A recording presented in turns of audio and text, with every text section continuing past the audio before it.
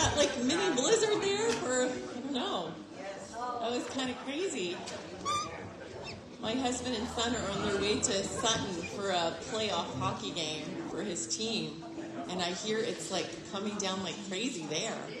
It was first bit. Oh, okay. Just a little bit. Well, the Lord's in control. We can't complain. We haven't really had very much of the white stuff lately, have we? I'd like to start um, this evening by reading um, Psalm 25. This morning we read Psalm 24. I'm going to read Psalm 25. It's a, a prayer that David wrote for defense, guidance, and pardon. Um, and it's cool that as we trust in God, um, He grants the same requests of us. To you, O Lord, I lift up my soul. In you I trust, O my God. Do not let me be put to shame, nor let my enemies triumph over me. No one whose hope is in you will ever be put to shame, but they will be put to shame who are treacherous without excuse. Show me your ways, O Lord. Teach me your paths. Guide me in your truth and teach me, for you are God, my Savior, and my hope is in you all day long. Remember, O Lord, your great mercy and love, for they are from of old. Remember not the sins of my youth and my rebellious ways. According to your love, remember me, for you are good, O Lord. Good and upright is the Lord. Therefore, he instructs sinners in his ways. He guides the humble in what is right and teaches them his way. All the ways of the Lord are loving and faithful. All the ways of the Lord are loving and faithful for those who keep the demands of his covenant. For the sake of your name, O Lord, forgive my iniquity, though it is great. Who then is the man that fears the Lord? He will instruct him in the way chosen for him. He will spend his days in prosperity, and his descendants will inherit the land. The Lord confides in those who fear him. He makes his covenant known to them. My eyes are ever on the Lord, for only he will release my feet from the snare. Turn to me and be gracious to me, for I am lonely and afflicted. The troubles of my heart have multiplied. Free me from my anguish. Look upon my affliction and my distress, and take away my sins. See how my enemies have increased and how fiercely they hate me. Guard my life and rescue me. Lead me not, lead me not to put, let me not be put to shame, for I take refuge in you. May integrity and uprightness protect me, because my hope is in you.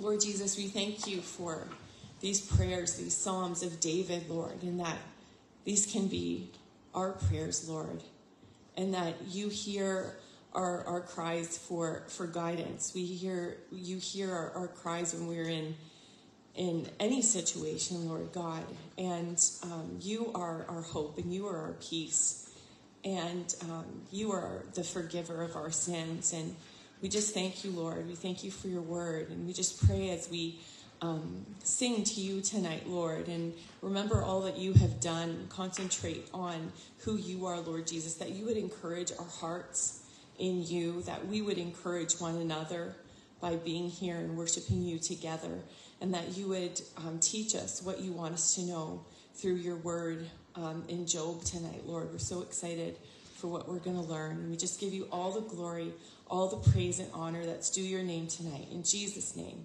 amen. Please stand with us. We're going to sing God is Great.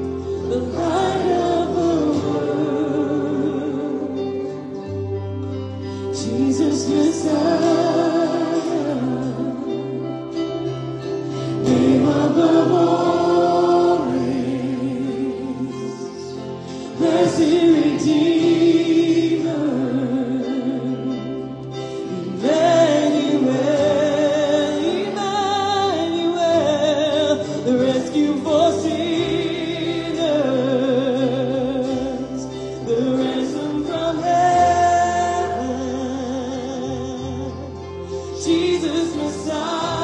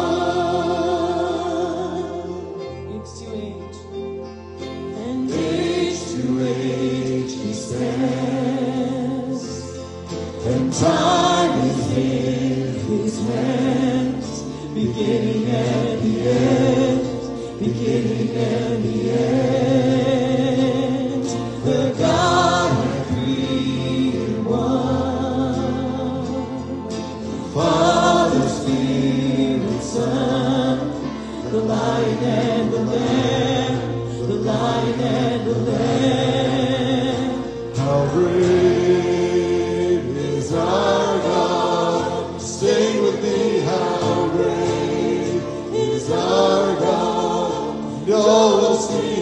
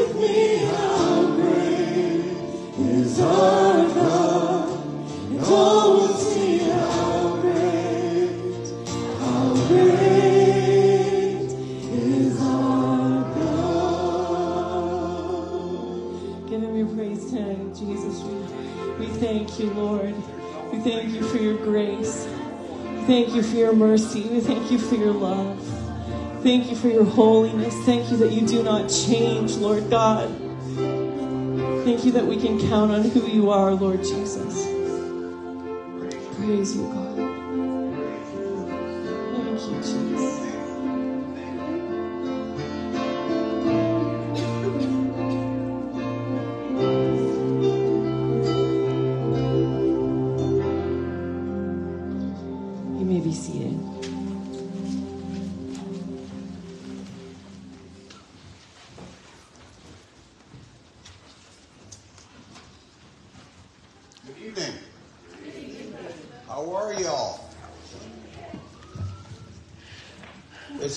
Sing, we sing, "Great is our God." There's no one greater. He's good. Is he good? Is he gooder? Much gooder. He's goodest. The goodest. That's right. We serve the goodest God. Not the Buddhist, the goodest. God is so good, man. We're so glad to be here. I'm so glad y'all are here because I was getting phone calls, people going, it's too stormy. I'm not coming tonight. That was for five minutes. That's it. The storm was over, man. I looked outside, couldn't see the house across the street, and then it was done. I love snowfalls like that. Man, but I'm glad you all showed up. That's very cool. Karen's looking comfy. That's fantastic. Well, I thought, who's that really short person that came tonight? Yeah, I- I'm not even allowed to talk about short people, sorry. Oh man, we're we've been studying Job. We started Job this morning. But oh, before we go there, we have an announcement. We have to make a formal announcement. There is an annual general meeting Wednesday. All Bible studies are canceled on Wednesday. You're welcome to join us at this annual meeting. Um, uh, the bylaws and the financials are all available through the office. You can give us a shout. All of our mission statement and our vision statement and all the things that we believe are on our website. You can check those out if you want. If you would like a copy of anything, give me a call. I'll probably tell you no, but you can try anyway. No, I will. I will get Mary to make you copies. Is Mary here? Mary, see Mary over there? Any administration you want done, there you go. She's the best. Okay.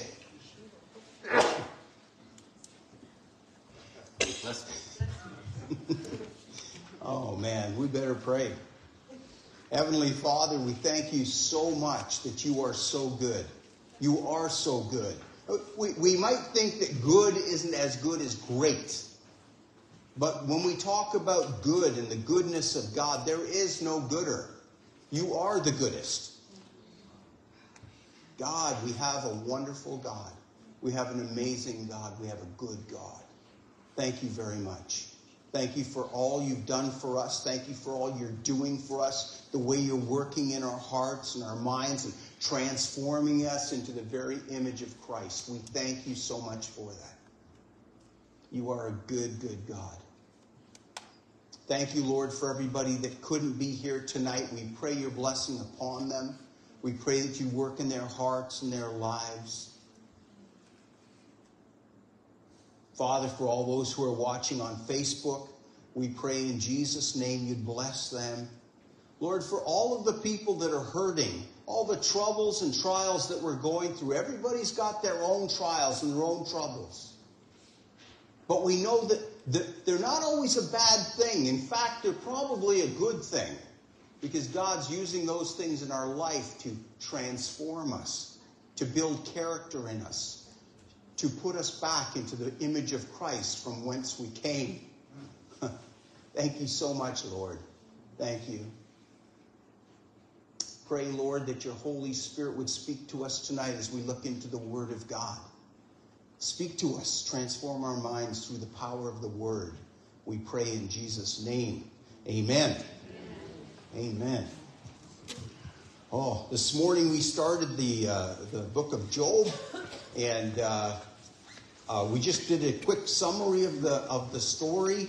And tonight we're going to look at um, we're going to continue on.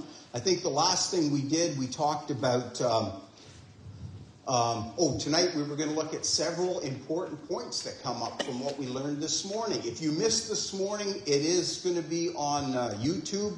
It'll be on there by Tuesday or Wednesday, and you can catch that. So uh, tonight we're gonna let's let's read again. Let's read this first chapter, verses one to twenty-two.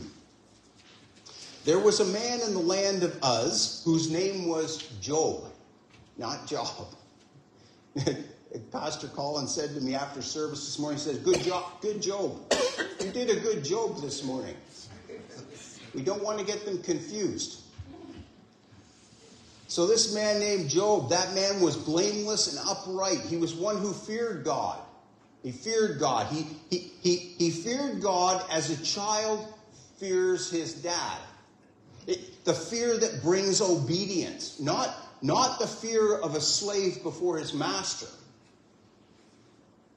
reverence. Upright. He's one who feared God and turned away from evil. And that's what we should do. Fear God and turn away from evil. Sounds simple. There were born to him seven sons and three daughters. He, pos- he possessed 7,000 sheep, 3,000 camels, 500 yoke of oxen, 500 female donkeys, very many servants, so that this man was considered the greatest of all the peoples of the East. His sons used to go and hold feasts in the house of each, each other uh, on their birthday. And they would send and invite their three sisters to eat and drink with them. And when the days of the feast had run their course, Job would send and consecrate them. He would rise up early in the morning. He'd offer burnt offerings according to the number of them all. For Job said, It may be that my children have sinned and cursed God in their hearts. Thus Job did con- continually. Job was, some people think that, well, that means that what they were doing at these parties was, was evil and wrong. It was wicked. And so Job had to do these offerings, these sacrifices to God to, to consecrate his kids. It doesn't mean that at all. It, it could very well mean that Job was just such a pious man. He was such a, a religious man that he just wanted to make sure that his children were going to be covered, no matter what it took. Yeah, I hope that as as dads, we're, we are that way about our kids. We want to make sure that, that whatever they do, wherever they're going, that they're they're they're walking upright before the Lord. Now there was a day when the sons of God came to present themselves before the Lord. The sons of God here means angels or messengers, the messengers of God. They, they gathered together, they had a council with God. And Satan also came among them. If you, if you remember who Satan is, Satan, so Satan, some people get this messed up. So Satan was, he was one of the messengers of God. And, and, and one day, Satan, thinking he was so bright, he thought, I'm going to be more powerful than God. And his pride brought him to that place where he was lying to himself and he believed it. And God said, You're out of here. Cast him out of heaven. And, and when Satan left, he took a third of all the messengers of God with him. He stole, he convinced them that he was going to be more powerful than God. Foolishness. So they left. And now, here's God with his council of messengers, and Satan is there amongst them. Isn't that strange? It, it's kind of neat that we can see we're seeing into the throne room of God, but but Job doesn't see any of this. We do. Fascinating. So the Lord said to Satan, From where do you come? And Satan answered the Lord, and he said, From going to and fro on the earth, from walking up and down on it. Oh, what's he doing? He's, he's looking for somebody to devour. That's what Peter was talking about. Be aware of the devil's schemes. He's, he's like a, a prowling lion. He's, he's, he's He's wandering around. He's, he's looking for somebody to devour. And he's got somebody in mind. He found somebody. So he goes to God. And the Lord said to Satan, Have you considered my servant Job? You want to devour somebody? Have you considered my servant Job? There's none like him on the earth. He's blameless and upright. Doesn't mean he's perfect. None are righteous, no, not one. For all have sinned. He's not without sin. It just means that in his character, he's upright, he's blameless. He fears God, and he turns away from evil. Satan answered the Lord and he says, Does Job fear God for no reason at all? Have you not put a hedge around him and his house and all that he has on every side? You have blessed the work of his hands, and his possessions have increased in the land. You've given him everything. Of course he worships you. Of course he loves you. But take that away from him and let's see how he does then. God says, Yeah, yeah, that won't work. He'll still honor me, he'll still fear me. Satan says, Stretch out your hand and touch all that he has, and he will curse you to your face. And the Lord said to Satan, Behold, all that he has is in your hand. Satan asked God for permission. Satan cannot touch me. That's very important. First John. Satan cannot touch me. I'm a born again child of God. I'm inhabited by the Holy Spirit of God, and Satan can't touch me. You know how often I think about demons? I don't. I don't. They can't touch me, they can't harm me. I'm not saying they don't exist, they do exist. Can't touch me. Can't touch this. what? It's true. It's hammer time. It's hammer time. It's not hammer time. Woo! I love that. I love that Satan can't touch me. But, but, Satan can go to God and he can say, he can say, I want to uh, harass Brian. I believe that if I if I harass Brian, if I take away his beautiful wife, just getting some goals here, some points. if I harass Brian, he will stop worshiping you. He will fall away from the faith. God says, Go ahead. Go ahead. Everything he's got, it's in your hands. Go ahead. Now, I've got to learn from this. I've got to learn from this that Satan can, can have permission from God to affect my life. He can't. He can't touch me without permission from God. So that's a good thing. But if God says, oh, I could use this in Brian's life, if, if something bad happened in Brian's life, I could use this to build Brian into the man that I want him to be. And God can allow that to happen. It's great that we have this insight. We wouldn't have any idea why things are happening in our lives. So he says, okay, everything that everything that Job has is in your hands, but you cannot stretch out your hand against him. You cannot kill him. You cannot kill him. Satan doesn't kill people. God has a time appointed for each one of us to die. And and it's like it's like if you read the story of Moses. Moses was not allowed to go into the promised land. So Moses stayed out of the promised land and he died and God buried him. Did you know that? God yeah. buried him. That's cool, right? No funeral expenses. so this is what happened after he got permission from God. Now there was a day when his sons and daughters were eating and drinking wine at their oldest brother's house.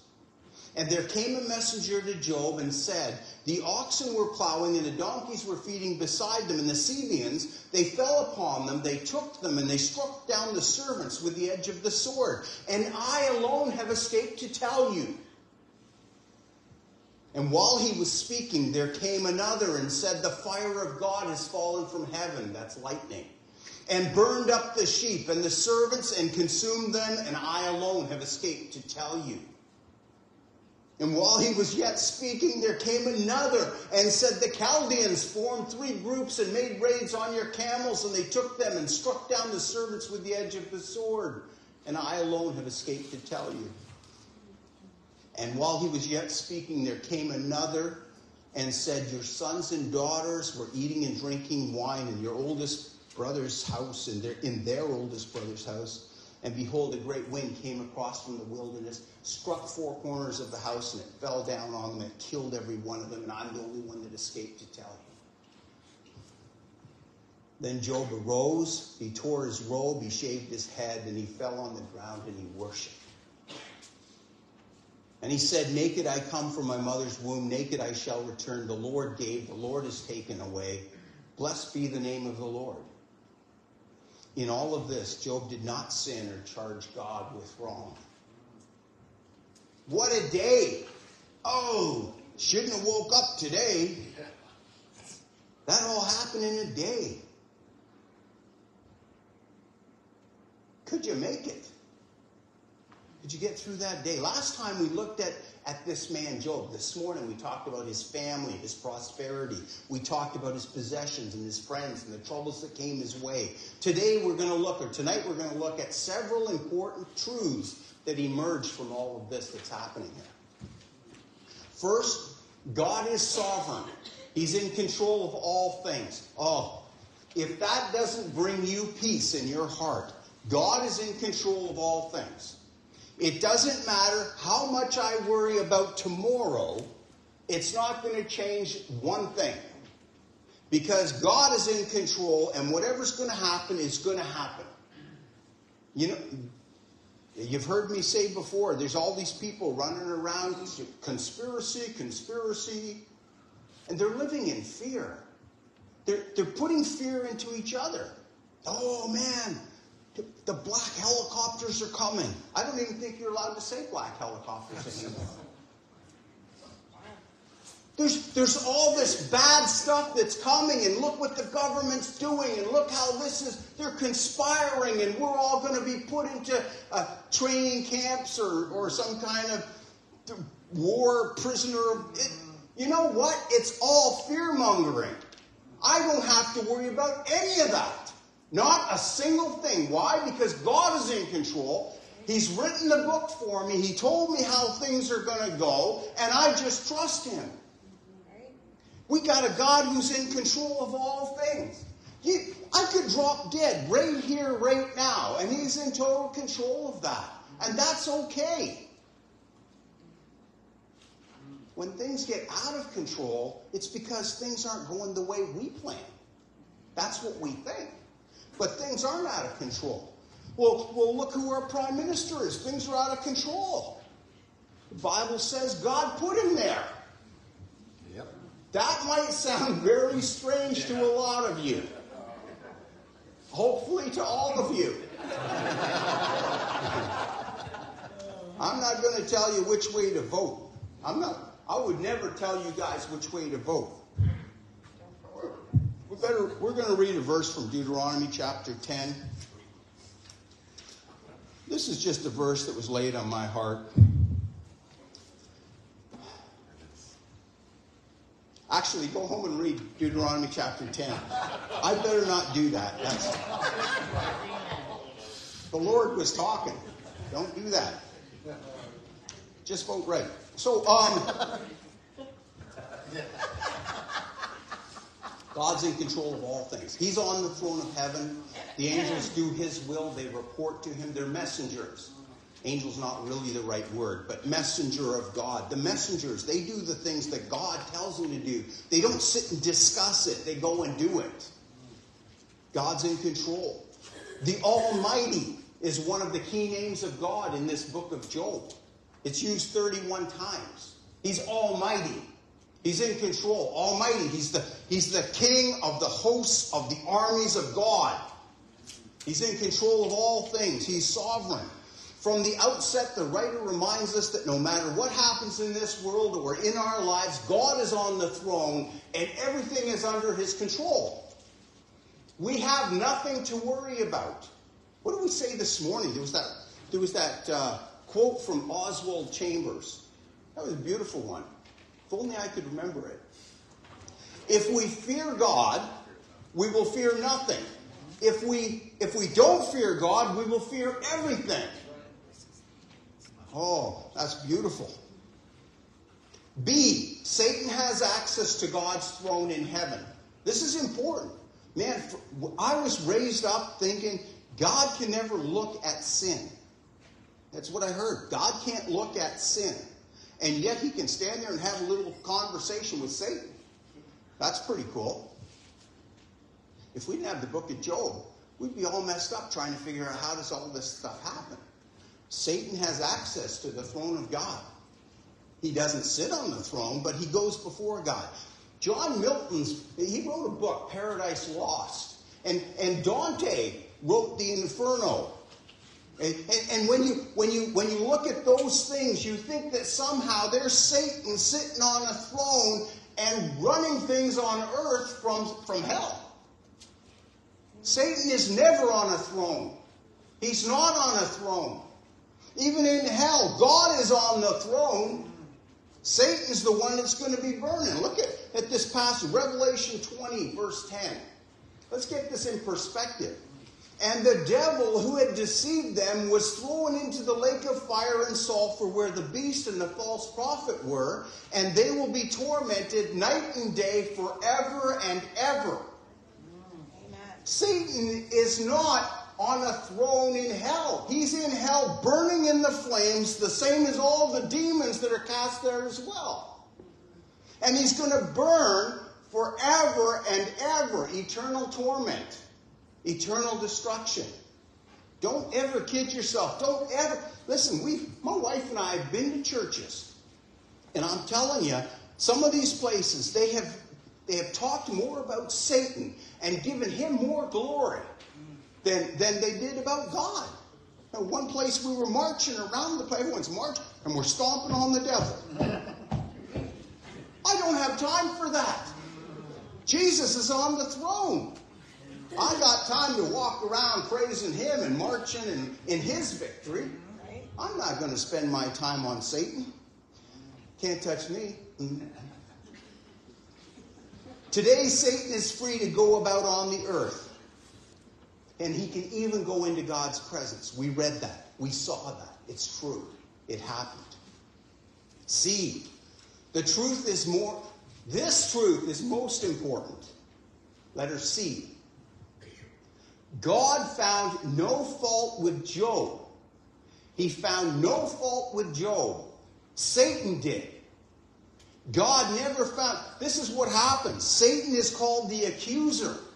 He goes before the Father and he accuses the brothers and sisters.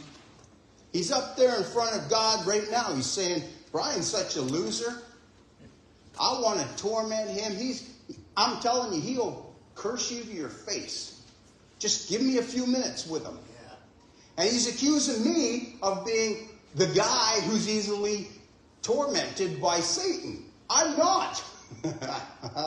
I am not tormented by. If he was here, I'd kick his butt right now. I'm not. But he accuses me, and he's falsely accusing all of you. And sometimes he'll accuse you to your face. He'll say, you know what? You're not a good follower of Jesus Christ. You might as well give it up right now.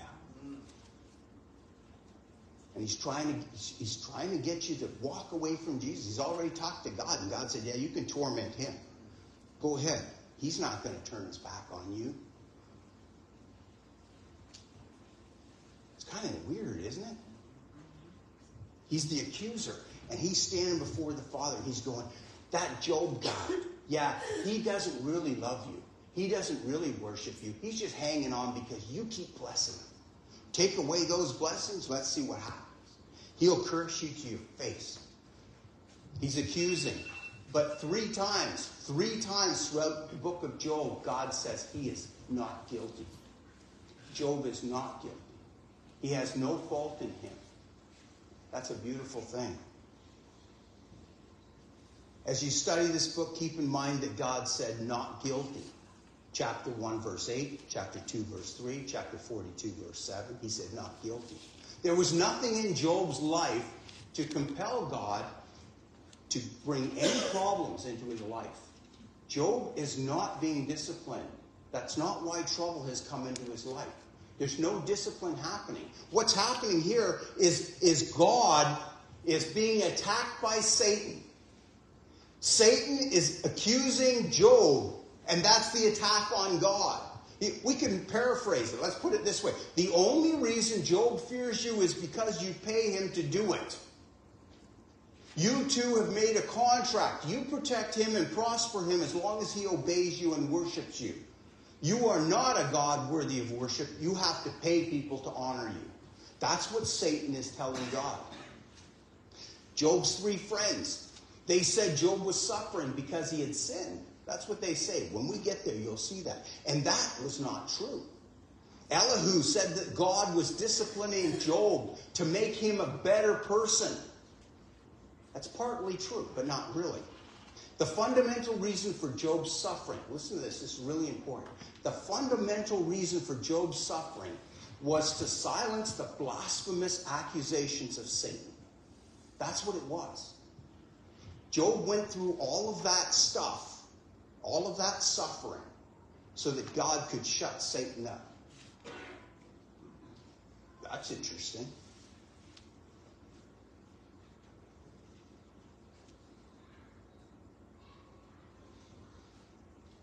It was a battle in the heavenlies. Job Job didn't know it because he didn't see what we saw. He didn't have the insights into the throne room of God. Job's life was a battlefield where the forces of God and Satan were engaged in spiritual struggle to decide the question is God worthy of man's worship? That's what it was about. D. A fourth truth that emerges here.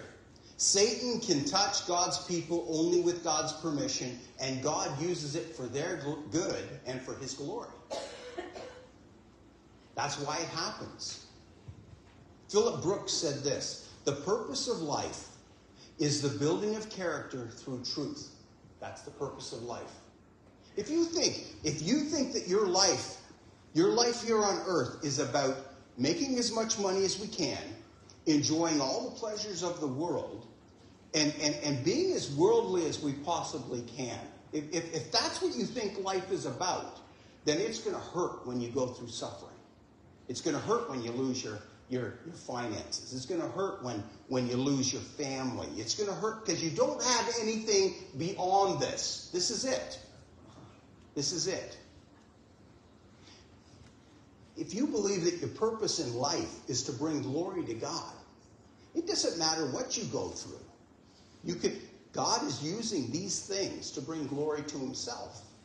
And and we should be willing. We should be obedient. But I don't want to lose my money. Well, then walk away from God. You still might lose it.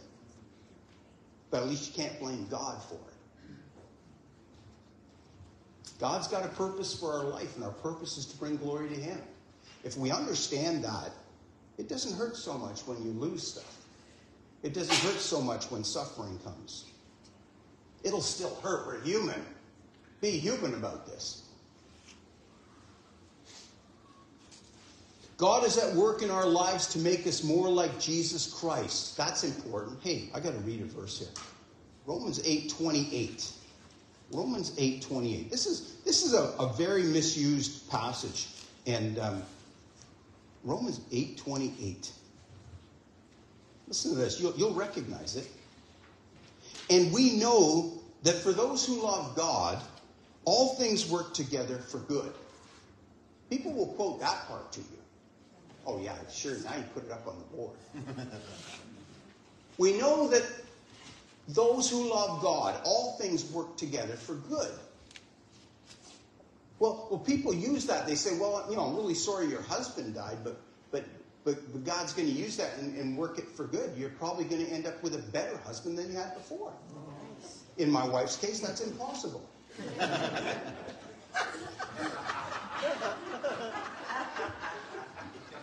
true. But look at the, look at the second part of that verse. That, that's where people went wrong. They forgot to read the second part. For those whom he foreknew, he also predestined to be conformed to the image of his son, in order that he might be the firstborn among many brothers. You jumped to 30 days. Huh? You jumped to 38. That's 29. She missed half a day. You missed half of 8. 28. 28. And we know that for those who love God, all things work together for the good, for those who are called according to his purpose. Yeah. Oh, yeah, okay. Jump all over me.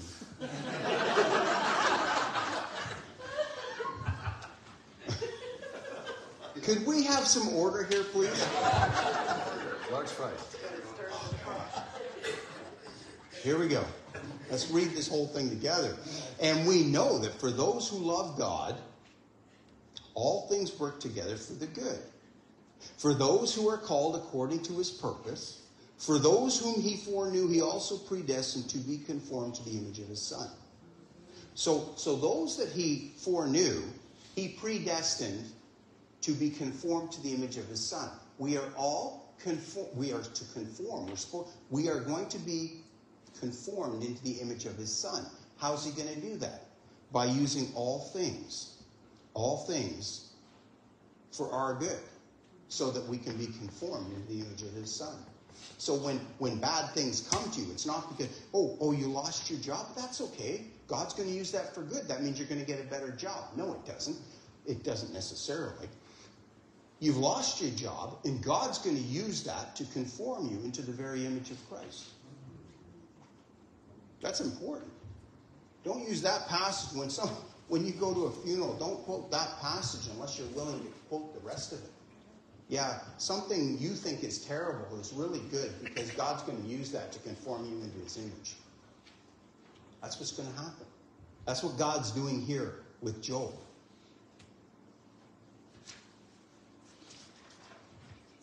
And God can use even the attacks of the devil to perfect us. There you go. Isn't that beautiful? Some of the so called tragedies in the lives of God's people have really been weapons to God in order to shut up the enemy. Some of the bad things that we've gone through, some of the tragedies in our life have been used by God to shut up the enemy. So it's really not such a bad thing. But it hurts because we're human. But it's not such a bad thing. Meanwhile, we walk in faith and we say with Job, Blessed be the name of the Lord. But take a look at Job's commitment here. in verses 20 to 22. It, we see the host of heaven, all of hell is watching, they're all there together. Job loses his, his wealth and his children, it's all taken from him, and, and, and the hosts of heaven are sitting around and they're watching to see what Job is going to do. What is he going to do? And what happens to Job? Well, first he mourns like a regular human being. And in his culture, they rip their clothes, they shave their heads, they fall on the ground and roll in the dust. But then he rolls up onto his knees and he worships God. There's his supernatural side. Naked I came from my mother's womb. Naked I'll return to the dust. What God has given, he can take away. What a beautiful thing. Blessed be the name of the Lord. This is how he reacts, and, all, and the hosts of heaven go, Yes! Yes! That's fantastic. Job 121 Naked I came from the mother's womb, naked I shall return. The Lord gave, the Lord takes away. We talked about that this morning. The Lord gives. There's nothing that we have that God didn't give us. Even those people out in the world who, who, who have so much, they don't even realize God gave it to them. Well, what do you mean? The guy worked hard. He became the president of the company. He came up with some good ideas. Do you think he thinks just he got his brain from nowhere? What are you, an evolutionist? Got his brain from God. Gets his wisdom from God. He gets his breaths from God. He gets his body from God. You can't do anything without God. Why? Because God's in control of all things. He's sovereign. He's in control of everything. If you if you're not a, a follower of Jesus and and you got lots of stuff, oh you we're pride we're prideful people. And we're like, oh look what I did. You have a lot of stuff you love to talk about. You ever go to someone's house and they're like a living catalog? See that table? I paid eighteen thousand dollars for that table. Well, that's a really nice table you have there, man. Do you mind if we sit around your beautiful table?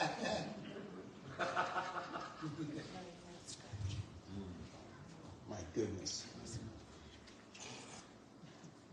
First, he looked back at his birth, then he looked ahead to his death, and out of all that, he came out worshiping God, praising his name.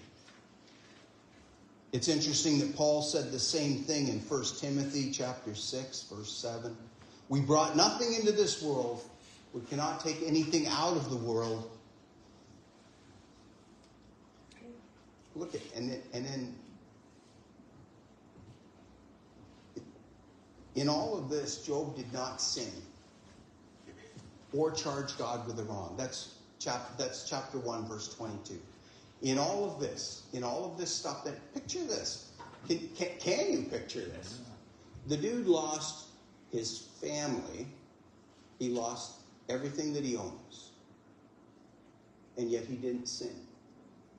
How many of us would be blaming God? How could you do this to me? I've been faithful to you. I watch all those preachers on TV every day and they promise everything's going to go well. How could you allow this to happen to me? That would be the human thing, wouldn't it? The supernatural power of God in that man's life, the way the Holy Spirit worked in his heart. He didn't sin and he didn't charge God with this terrible thing. He came out of this smiling, but that's the first chapter. This is just the first chapter. There's more that happens to him. There's more things that go on. It's a great story that teaches us so much about what goes on in our spiritual warfare. People think our spiritual warfare is, you know, there's some demon living in my attic. That's not it. God is standing talking to Satan. And and Satan is prowling around looking for someone to devour and he goes to God and he says, Can I can I torment that person? Because I think that person's gonna curse you to your face. God says, Go ahead, try them. How are we gonna respond to that? The, the sad part, I, listen, in case I know a lot of you don't think this is true, but I'm human too. I know there's a lot of surprised faces. It's true. And, and, and when bad things come our way, like, I feel so bad. I feel so bad for all of you when I hear your stories and the things you've gone through, and I feel bad. And we've had bad things happen too, but the question is, what are we going to do with that? You're going to go through bad times no matter who you are. If you're not a follower of God, you're still going to go through bad times because sin is in this world. There's still going to be deaths, there's still going to be tragedies. Those people, oh, if your heart doesn't bleed for someone who has to go through those things without God, we have God. He gives us peace and comfort. That's fantastic. But what are we going to do with it? Are we going to blame God and walk away?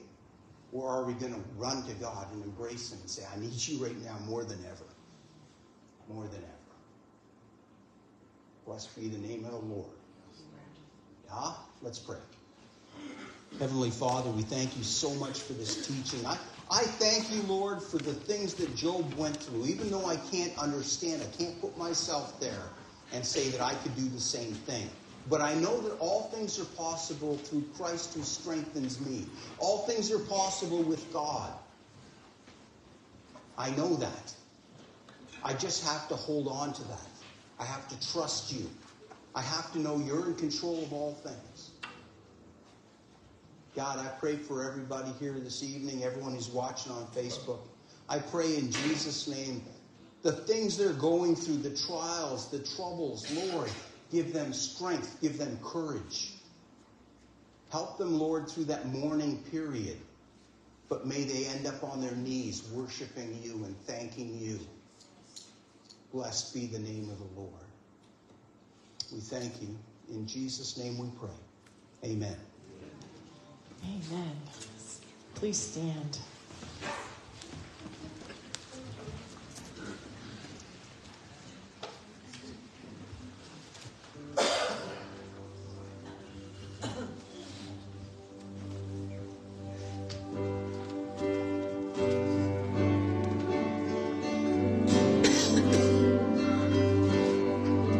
Just as I am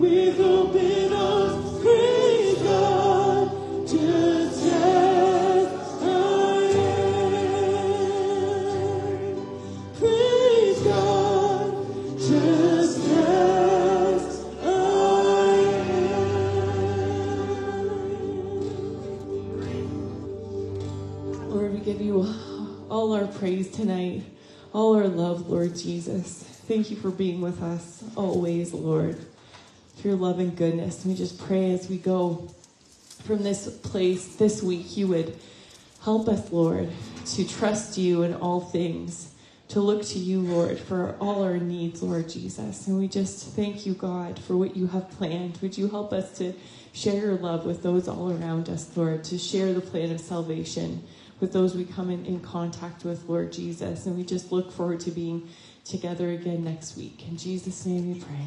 Amen. God bless everybody. Have a beautiful week.